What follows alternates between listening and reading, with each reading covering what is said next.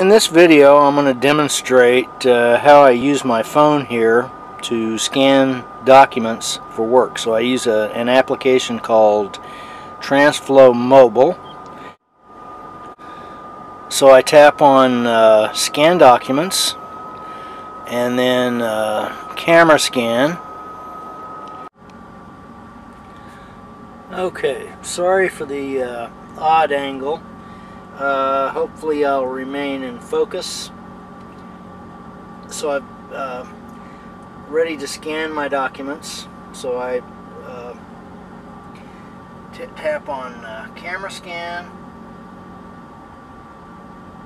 and then I take it would be like taking a normal photo except I'm doing it in the uh, it's only in the vertical orientation I have the flash uh, turned on that, that helps even it out. Then I tap.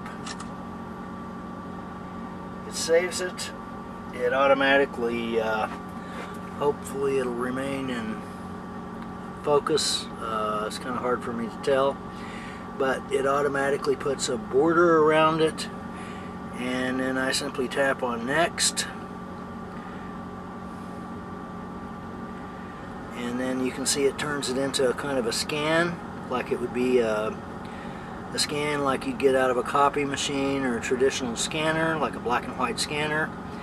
And then I simply accept it, and then I can move on to uh, the next document. It's a very simple process, actually.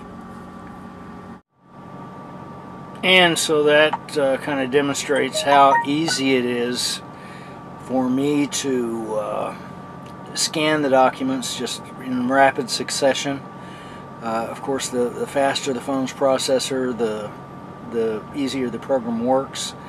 And you know, at this point, I've got a Note 5, a Galaxy Note 5, that's got a really uh, fast processor, and so it ends up making very quick work of uh, the scanning and the processing that it has to do. And uh, so using a program like this right on my phone uh, is much quicker, more convenient, more much more efficient than uh, kind of taking, you know, kind of getting the trip ready to go and then walking inside a trip a truck stop and utilizing their scanner, which is, uh, you know, you may have to wait in line and then sometimes it's just a cumbersome process getting the thing, to, you know, because they're usually they're sheet-fed scanners, and it can be a cumbersome process at times trying to get the sheets to go through properly. You've got to keep try, starting over at the beginning if something messes up in the as it goes through the scanning process.